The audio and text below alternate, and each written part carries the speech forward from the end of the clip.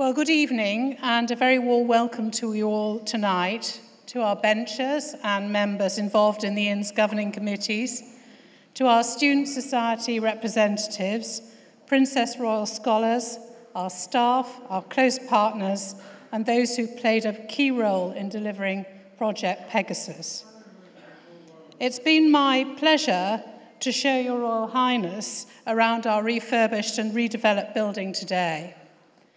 We're extremely grateful that as our Royal Bencher, Your Royal Highness shows a continuing and keen interest in Inner Temple, not least in our triennial Legal Book Prize.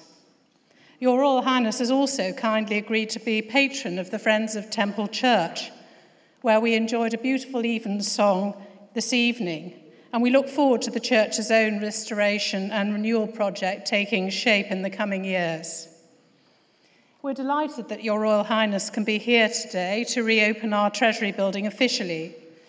Project Pegasus has been challenging to implement, but the satisfying results that we see today entirely justify the vision and investment of the Inn.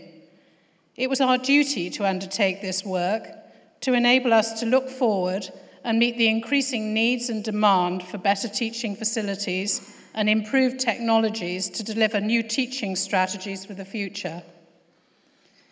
The Royal Charter of 1608, reaffirmed by Her Majesty the Queen in 2008, places important responsibilities on us to provide for the accommodation and education of students and barristers.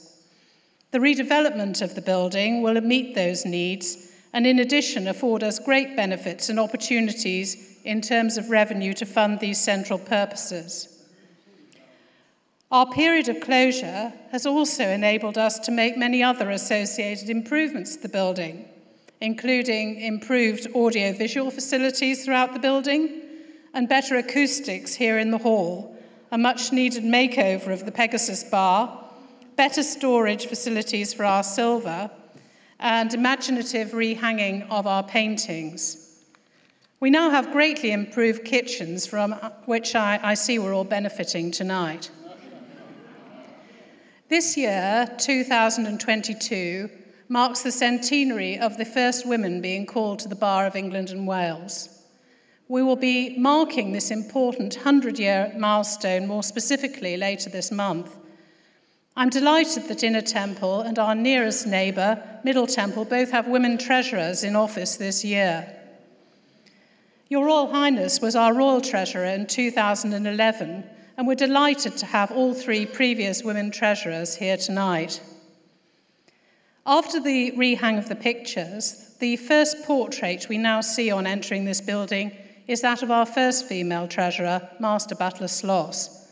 And as we've seen this evening, the portrait of Your Royal Highness is at the entrance to our new third floor education and training suite. Today, our focus is on our transformed Treasury building and the contribution that it will make to future generations of barristers. And it's with very great pleasure that I call on Your Royal Highness to declare the building open again.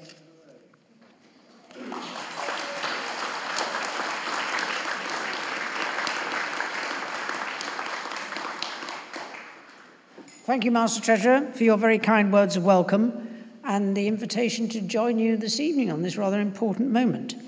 Um, and all of you, I'm sure, have been hugely involved in getting everything ready for today. Uh, I think the hoovering went on quite late upstairs. this is a, a, a, real treat to be truly opening a, a new build, a new project. I have to say, I had probably been Royal Bencher, the Inner Temple, for slightly longer than I had remembered. Um, so I've seen a few changes, but of course this is, Project Pegasus is something else. Uh, it truly is the biggest development since the 1950s. And it's a very significant event to be able to reopen it, completed and ready for action. Nice too, because you can all come here again after three years. Um, now that probably sound, sounded like a inconvenience and an irritation three years ago. In retrospect, not quite so bad, given that you wouldn't have been allowed in anyway um, for two years. And in terms of time, a mere hiccup in a 700 year history of the inn. I'm sure we can put up with that. But of course, I was last here in uh, 2019, which was at, at the very start.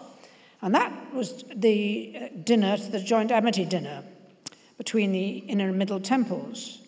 My grandparents, of course, attended the original dinner not long after the devastation of uh, World War II. So that rebuilding very much in mind at that moment, um, and another rebuild now, building on that. Extensive redevelopment, refurbishment, and probably finding some things which weren't done quite that brilliantly back in the 50s, so not a bad time to do so. And the redesign by Hugh Broughton Architects uh, is a really clever, uh, I think, um, plan. It's a development uh, of Sir Hubert Worthington's post-war incomplete designs uh, and has really enhanced the inn's integral collegiate spaces. And I hope you all believe and, and have seen that for yourselves now. Um, what we also forget, fortunately with the passage of time, is probably how many years that has taken of meticulous planning to get Project Pegasus to this point. To see that project come to fruition, I hope will be enormously satisfying for all members of the Inn, and particularly for those who were members of the project team so closely involved in this major redevelopment by Sir Robert McAlpine Special Projects, and some of whom I've met uh, tonight. We've been reminded about the importance of education to the inns.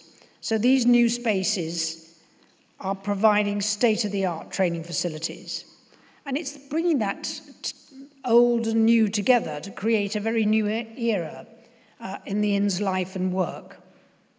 It will certainly enhance the inn's core purpose of providing excellent legal education. And it will enable it to continue to provide the outstanding library services that train students and pupil members of the inn. A lot of that as technology has grown on the back of the pandemic, and if there was something to be gained from all that pivoting that went on so busily during the pandemic, learning the lessons of how much technology could do for you, but what it, and also learning what it doesn't, uh, has added to the success of this building and this project. It already has an impressive record of outreach activities. And I think this will hugely help you to, man, to encourage underrepresented groups to enter the profession and contribute to its diversity.